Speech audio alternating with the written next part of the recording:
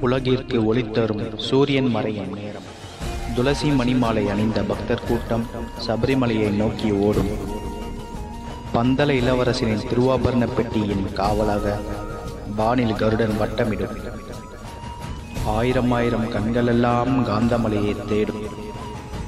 உலகை ஆட்சி செய்ய பந்தல இளவரசனின் திருமேனி திருவாபரணங்களால் ஜொலிக்கும். லட்சக்கணக்கான பக்தர்களின் சரணகோஷத்தால் சபரிமலையே அதிர்கின்ற அந்த நேரம். யோக நிலையில் இருந்த ஐயனின் கண்களும் கலியுகத்தை காண மெதுவாய் திறக்கும். ஆயிரம் கோடி சூரியனின் பிரகாசமாய் பொன்னம்பலமேட்டில் ஜோதி ஒளிரும்.